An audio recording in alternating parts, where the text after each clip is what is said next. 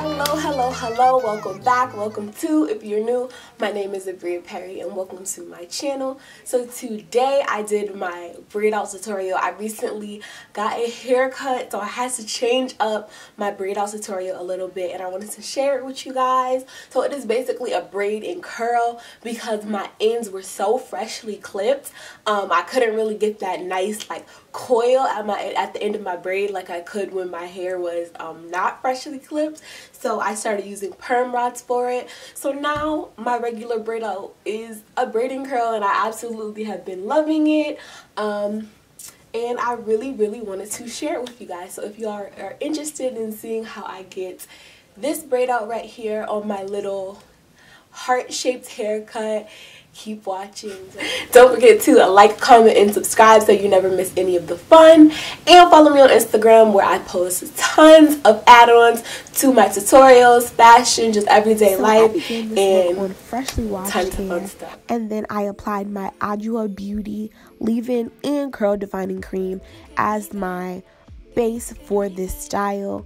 I had had my hair in four sections from um, applying my leave-in and my defining cream. So I just kept it in those sections to begin braiding it. To style and give my hair a little bit of hold for this look, I'm going to use my Mane Choice Gel and my Shea Moisture Coconut and Hibiscus Frizz Mousse. This mixture together has been working really, really well for me. I find that if I put perm rods on my ends or anything like that, having a mousse on really, really helps um, with the hold and making sure that I get a really good curl.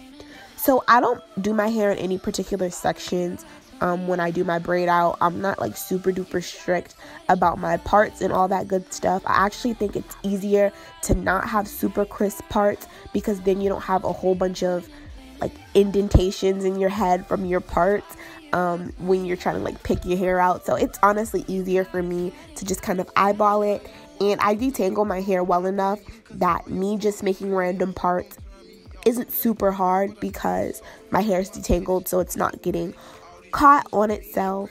I'm just doing normal braids, normal, you know, three strand braids all over my head, and then I roll them up with my perm rods.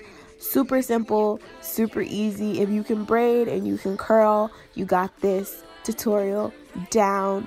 Um, I didn't always use perm rods in my braid outs, but once I cut my hair, it was much easier to use the perm rods because my hair is shorter and my ends were freshly clipped, as I said in the intro. So that is why I began using perm rods, and I have really, really been liking the look. It gives me a tighter curl than I used to get, which I really, really have been enjoying. So I just do kind of messy braids all over my head in total, I do 10 braids um, to start off with, and then once I braid my hair up as the week goes on, I usually only do six, depending on how I'm feeling. Then I just lay my edges down with my scarf and I put on my trusty bonnet and go to sleep. Sometimes I sit under the dryer, but to be honest, I absolutely hate the dryer. So I usually try to do my hair on days where I'm going to be in the house and I can just walk around and let them dry. So I went to sleep this day, and then the next day was a snow day. So I just wore my braids for the entire day around the house. I laid my edges with my Mielle Organics edge gel and then put my scarf on and let that sit while I did my makeup. And now I am starting to take down the perm rods. Um, as you can see, I am not the softest when it comes to taking down my hair. I'm honestly working on that. And then I go in with some sweet almond oil.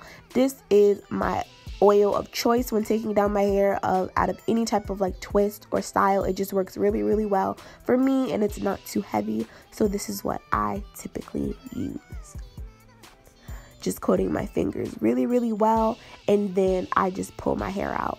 I do not like pull my hair apart um, when I first take it out of my braids. I prefer to just kind of let it do its own thing. I know a lot of people take their hair out of their braids and then kind of twist it around their fingers or, you know, pull it apart to get it bigger.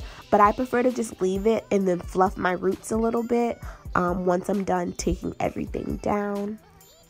And that is pretty much what I've been doing ever since I went natural. It's just a preference. Um, it just works better for me and how I like my hair to look. Once I'm done with that, I'm just fluffing my hair out, playing around with it a little bit, and then I am all set. Thank you guys so much for watching. I hope you enjoyed. Don't forget to like, comment, and subscribe. And I will see you guys in my next video. Bye.